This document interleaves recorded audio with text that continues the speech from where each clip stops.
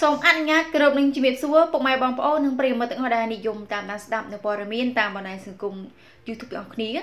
មើលគំរូឲ្យហើយទៅមហាមិត្ត2នាក់ពូកែរកនឹកស្ទីលថតប្លែកប្លែកប្លង់ក៏ស្អាតផ្ទុះការសរសើរខ្លាំងការធ្វើដំណើរកំសាន្តទៅកាន់ទឹកដីខេត្តសៀមរាបពិតជាមិនអាចរំលងប្រាំប្រាសាទបុរាណដល់ឆារយៈបានឡើយបើទៅដល់ហើយមិនបានទៅថតយកទស្សនវិជ្ជាពិតជារឿងគួរឲ្យសោកស្ដាយ តែអ្វីដែលកាន់តែស្ដាយជាងនេះទៀតបានទៅថតដែរតែប្លង់មិនដែលថាស្អាតដូចជាគេយ៉ាងម៉េចក្រឡេកមកមើលនារីខ្មែរពីររូបនេះជាមិត្តភ័ក្តិស្និទ្ធស្នាលនឹងគ្នាកាន់ដៃគ្នាទៅដល់លេងតំបន់អង្គរហើយចេះរកនឹកស្ទីលនៃការថតរូបស្អាត ស្អាតកំពុងផ្ទុះការកោតសរសើរយ៉ាងខ្លាំងលើបណ្ដាញសង្គម Facebook មិនតែប៉ុណ្ណោះក្រៅតែពី still ថតស្អាតស្អាតគ្មានទោះហើយនោះជាងថតរូបថែមទាំងជំនាញចាប់ប្លង់បានស្អាតឥតខ្ចោះស័កសមជាមួយនឹងរូបសម្រស់នារីទាំងទ្វេ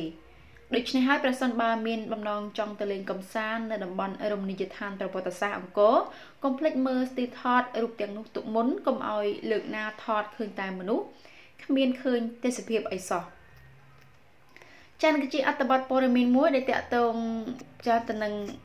នារី2នាក់ចាស់មហាមិត្ត2នាក់ពូកែរោគនឹក steel thought ផ្លែកផ្លែកប្លង់ក៏ស្អាតផ្ទុះការសរសើរខ្លាំងនាងខ្ញុំក៏សូមបញ្ចប់នៅព័ត៌មានត្រឹមតែប៉ុណ្ណេះហើយជាចុងក្រោយក៏សូមអរគុណដល់ពុកម៉ែបងប្អូននិងប្រិយមិត្តទាំងអស់ដែលតែងតែតាមដានស្ដាប់នៅព័ត៌មាននិងវីដេអូរបស់ខ្ញុំហើយសូមកុំភ្លេចជួយ Subscribe like share Channel របស់ខ្ញុំ